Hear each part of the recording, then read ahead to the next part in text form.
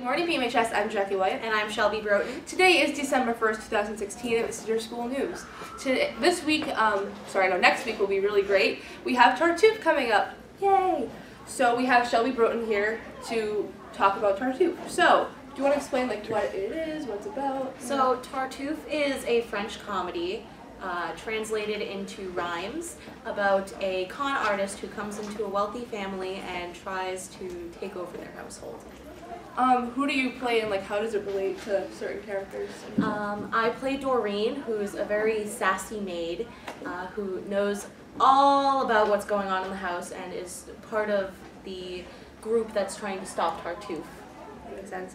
Um, how's it been working with the cast on the show? Anything? It's been wonderful. This has been my first play since my freshman year, so it's been a very good experience. That's good. And anything else you want to add to it? Well, Tartuffe starts next week, the 8th, 9th, and 10th of December. Uh, tickets are 10 for adults and 7 for students, and every show is at 7.30. And yeah, that's all we have for you today, and we will see you tomorrow.